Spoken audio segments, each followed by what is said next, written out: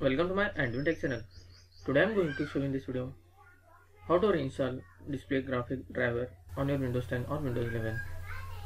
So before going to start the video, if you're not subscribed my channel, please subscribe. So let's start the video. Guys, if you want to update or reinstall your display graphic driver, then I will show you simple method. First of all, you just need to right click on this start menu. You can see a device manager. Just click on that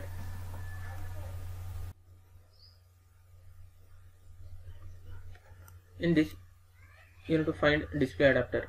You can see here display adapter. Just double click on that and expand.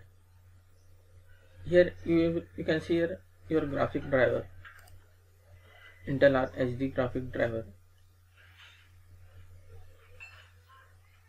You just need to right click on that. Click on update driver. Here you can see two options. The second option is browse my computer for the drivers you need to click on that. In this you can see let me pick for a list of available drivers on my computer. Select this option. Here you can see two drivers. Select first one click on next and check whether this is suitable or not.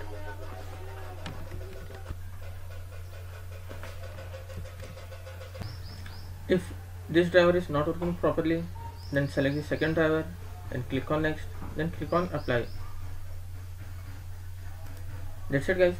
So in this way you can install display graphic driver on your windows 10 or windows 11 thanks for watching. Hope if you like this video please like share and don't forget to subscribe